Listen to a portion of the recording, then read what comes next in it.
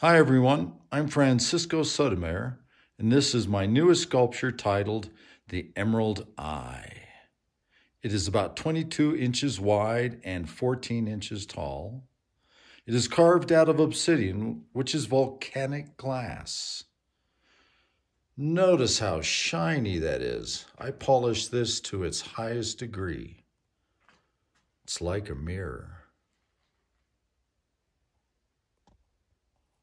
Now I'm going to go ahead and turn the lights on. Check that out. It's so shiny that you'll see my reflection of the camera still bouncing around in the background. But this is what happens when you carve it down to one eighth of an inch thick, carve all that detail on the inside, shoot green LED lights through black glass, you get these awesome colors and effects.